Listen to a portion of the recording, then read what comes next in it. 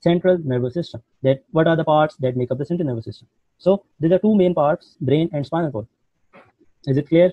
You can see mm-hmm. in the image that there is brain, and from the brain, the extension is spinal cord in the yellow color. Yeah. All right. So uh, this is a diagram for you to understand that where is CNS located in our skull.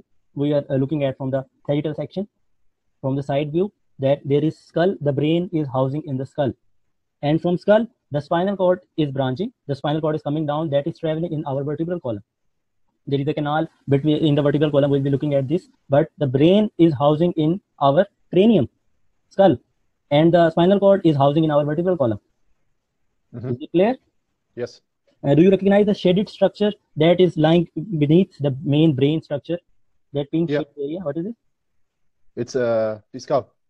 It's a skull. But uh, i'm talking talking about Which? the shaded area the shaded area the small structures that is uh, uh, the cerebrum and the cerebellum? cerebellum. Yes you're right. That is cerebellum. And in front of the cerebellum that uh, light yellow colors uh, that uh, fiber like structure is your spinal cord that is moving in the vertebral column. Is it clear? Yes. All right. This is your skull and we are looking from inferiorly. We, the skull is at the top. We are looking at from the inferior side. And uh, what i'm um, trying to show is the foramen magnum that the skull, the brain is housing in our cavity, cranium cavity. And from for the spinal cord to come out of the brain, you need a passage.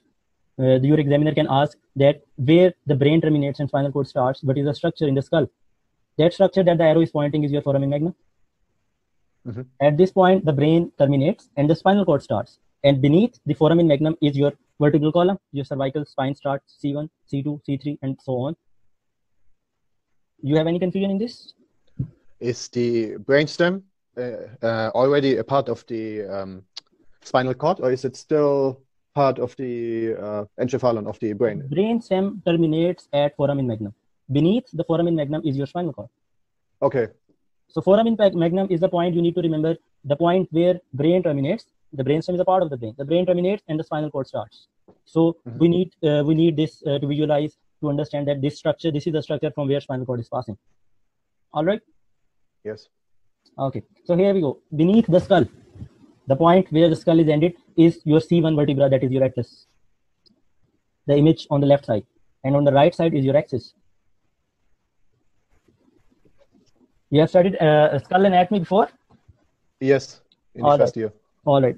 When the skull terminates, the beneath the skull there are vertebrae that is making up our vertebral column. The first vertebra, that is C1, is known as atlas.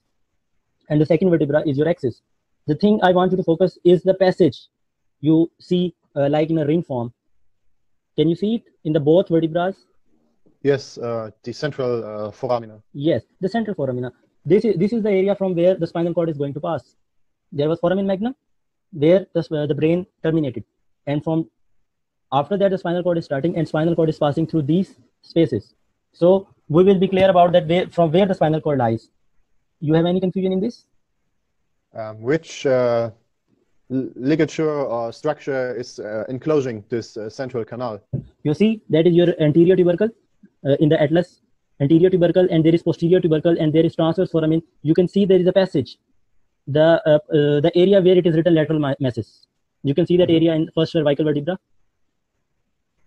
Yeah. So this is the area. You can see that it is surrounded by an area there is anterior arch, there is superior articular facet, there is uh, right uh, lateral to that, there is transverse foramen.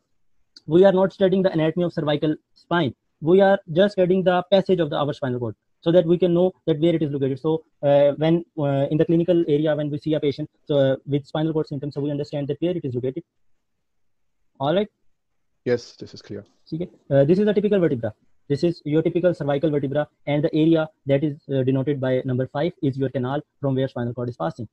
Anterior to that, it is your body of vertebra, and posterior to that, it is the spinous process of cervical vertebra. So right now, I want you to focus on the area from which spinal cord is going to pass. Is it clear?